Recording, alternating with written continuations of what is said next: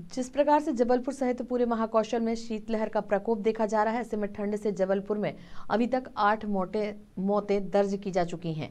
पर नगर निगम प्रशासन के द्वारा किसी भी प्रकार की ठंड को लेकर अलाव की व्यवस्था नहीं की गई। वहीं ठंड से दो दिन पहले छह माह की बच्ची की भी मौत रेलवे स्टेशन के पास हुई थी, जो कि अपने माता पिता के साथ फुटपाथ पर रहती थी। जबलपुर सांसद राकेश सिंह ने ठंड को लेकर अपने बयान में कहा कि उन्होंने नगर निगम कमिश्नर और जिला प्रशासन से ठंड को लेकर व्यापक इंतज़ाम करने के लिए अधिकारियों को दिशा निर्देश दिए हैं।